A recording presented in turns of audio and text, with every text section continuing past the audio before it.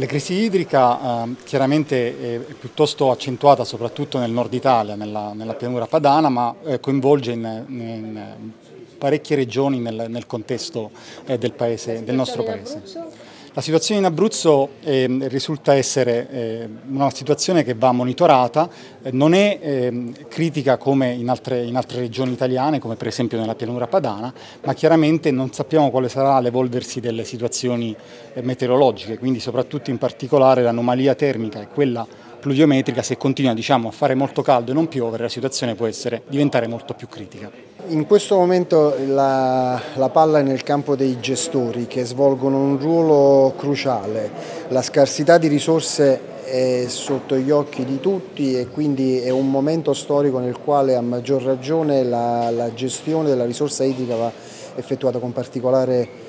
attenzione e cautela. Le risorse da stanziare per l'efficientamento delle infrastrutture acquedottistiche che mediamente in Italia, ricordo, hanno un'età superiore ai 50 anni è sicuramente un campanello d'allarme, molte infrastrutture addirittura superano il secolo di vita e quindi la necessità di adeguamento, ammodernamento e manutenzione è un, è un impegno che è assolutamente prioritario. C'è necessità di grande cooperazione internazionale su questo tema, c'è bisogno di una, eh, politica che diventi, di una cooperazione politica che diventi globale, come globale è la crisi ecologica, come globale è la, la crisi energetica oggi, quindi c'è bisogno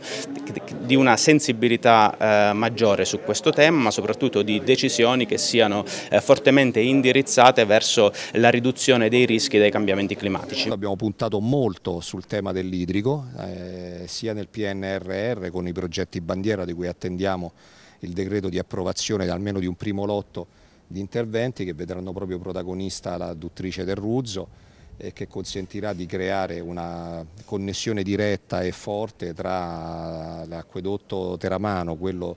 di Pescara e quello di Chieti in modo da poter eh, risolvere un problema molto, molto serio di approvvigionamento idrico che soprattutto nei mesi estivi quando c'è maggiore presenza di turisti e maggiore richiesta di acqua continua a imperversare. L'acqua che esce dal Gran Sasso sia sul versante Teramano che sul versante Aquilano è tra le più pulite, sicure e sane di tutta Italia, non teme confronti e il sistema di monitoraggio e controllo